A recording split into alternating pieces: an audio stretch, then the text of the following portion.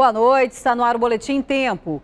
O comerciante Fabrício Gonçalves Torres, de 32 anos, preso no último domingo depois de atropelar quatro pessoas e matar uma delas na Cachoeirinha, era procurado pela Polícia Federal desde o ano passado por estelionato. Ele fazia parte de um grupo que desviou 15 milhões de reais da Caixa Econômica Federal. O comerciante foi reconhecido por policiais federais ontem quando apareceu em reportagens de TV. Ele foi indiciado por homicídio culposo e embriaguez ao volante e já prestou depoimento na delegacia da Polícia Federal. O comerciante vai ser levado para audiência de custódia na Justiça Federal. E uma quadrilha foi presa depois de tentar explodir com dinamite um caixa eletrônico na zona leste de Manaus. O crime foi da madrugada de hoje neste posto de combustíveis, no Jorge Teixeira, quarta etapa. A ação da quadrilha foi frustrada porque os policiais militares chegaram no momento em que eles tentavam explodir o caixa eletrônico com uma dinamite. A partir daí, houve uma perseguição e um tiroteio e os quatro homens acabaram presos. A polícia militar, de forma, de forma diligente, conseguiu fazer com que eles parassem, é, dando um tiro no, no pneu do carro que eles estavam fugindo, que era uma Fiorino e logo em seguida foi feito o cerco com eles lá. De Jair Tavares, Alessandro Lima, Luiz Everton Lacerda e Sérgio Henrique Correa foram presos quando tentavam fugir neste carro. Segundo a polícia, o veículo era da empresa onde Luiz Everton trabalhava. Dois revólveres, a dinamite e um extintor foram apreendidos. O explosivo foi detonado pelo grupamento Marte nas dependências do 14º DIP. Os quatro homens vão responder por associação criminosa, porte ilegal de arma de fogo e tentativa de roubo. Eles já foram levados para o Centro de Detenção Provisória Masculino no quilômetro 8 da BR-174.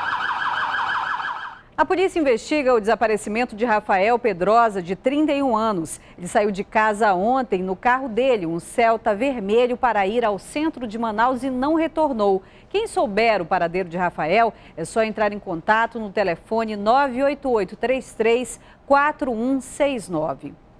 A gente muda de assunto e fala de esporte. Um amazonense é a promessa brasileira de medalha em competições nacionais e internacionais em 2018. Ele é parintinense e campeão no lançamento de dardo.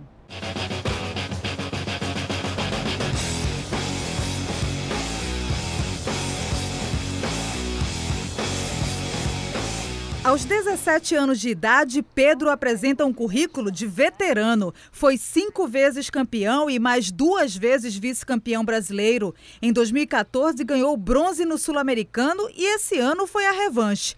Pedro Henrique Nunes Rodrigues, de Parintins, no Amazonas, é o atual campeão sul-americano no arremesso de dardo. E olha que ele só treina há três anos. Quando eu ganhei os Jogos Escolares Parintinense, aí eu vim para cá sem nenhuma, algum treinamento e participei, ganhei os Jogos Amazonenses também.